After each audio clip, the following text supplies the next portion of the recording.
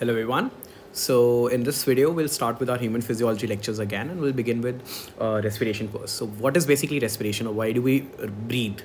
So basically every cell in our body requires oxygen. It requires oxygen to metabolize glucose, amino acid or fatty acids to release energy which is then used by the cell to do its functioning. And this process releases carbon dioxide that needs to be removed out from the cell and the body. And this process is called as respiration. So this exchange of gases to get the oxygen into the body to every cell of the body and remove the carbon dioxide that's formed because of respiration, the cellular respiration to outside the body is called breathing or respiration on a larger scale Now, what are the organs that help us us or other uh, you know animals or other organisms to breathe to get this oxygen inside and get the carbon dioxide outside as far as simple organism is concerned your sponges coelentrates as we had discussed in the body foliage and circulation chapter उनको तो सिर्फ़ water की ज़रूरत होती है water से ही oxygen आ जाता है वाटर से ही क्या कहते हैं कार्बन डाइऑक्साइड लेके चला जाता है। बट एक्चुअली में रेस्पिरेशन करने के लिए उनमें क्या ऑर्गन होता है? उनका पूरा शरीर ही एक टाइप से entire body in some way or the other their entire surface of the body in some way or the other helps in this process of exchange of oxygen and carbon dioxide now is coming to earthworms earthworm have the cuticle the moist cuticles that helps in exchange carbon dioxide out and oxygen in insects have something called as tracheal tubes. But as the organism becomes more complex, as the habitat of the organism changes, जो थोड़े और complex हो जाएँगे तो उनका habitat change हो जाएगा the the structures the, the organs that they use for this process of exchange of oxygen and carbon dioxide evolves so what happens is the more complex organism use some vascularized structure vascularized का मतलब क्या हुआ है उनमें blood vessels है एक organ होगा उस ऑर्गन में बहुत सारी ब्लड वेसल्स होंगी।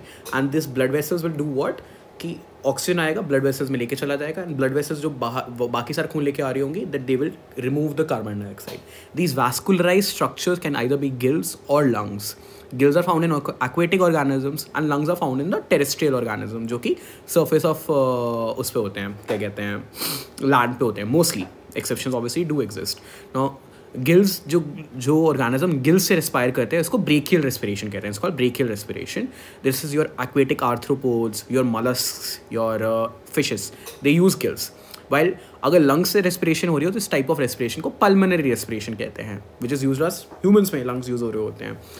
रेप्टाइल्स में बर्ड्स में they all have lungs apart from that amphibians also have lungs but at the same point of time they can use their skin also to respire. Their skin also acts as an organ that gets the oxygen and gets the carbon dioxide out. Now let's see what ncrt says so respiratory organs. The mechanism of breathing vary among different group of organism depending upon their habitat and level of organization. Like I said, तो simple organisms होंगे वो तो सिर्फ़ water और अपने surface से सारा काम चला लेंगे but जैसे जैसे organism evolve करेगा जैसे जैसे organism ज़्यादा complex हो जाएगा अपने structure में they evolve certain structure and certain organism to do this function of exchange of gases of oxygen and carbon dioxide.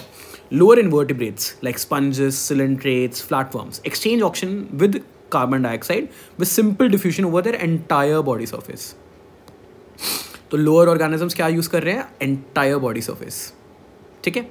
Then earth form use है क्या यूज़ करते हैं? Their moist cuticle insects have a network of tubes called tracheal tubes to transfer this atmospheric air within the body so we now we can have a simple mix and mass question जिसमें they can ask you sponges entire body tracheal tubes insects they can ask you earthworm cuticle एक mix and match question बन जाएगा. So you should this is how you reign N C R T this is how you frame question from N C R T then special vascularise structure call gills are use by most of the aquatic arthropods and mollusc vascularise structure है. So they can again ask you तो following is structure for breathing surface not vascularise tracheal tubes not vascularised moist cuticle not vascularise gills vascularise vascularise का मतलब क्या? वहाँ पे blood vessels हैं जो कि ऑक्सीजन को लेके जाएँगे एंड कार्बन डाइऑक्साइड को स्ट्रक्चर के थ्रू बाहर फेंकने के लिए हेल्प कर देंगे.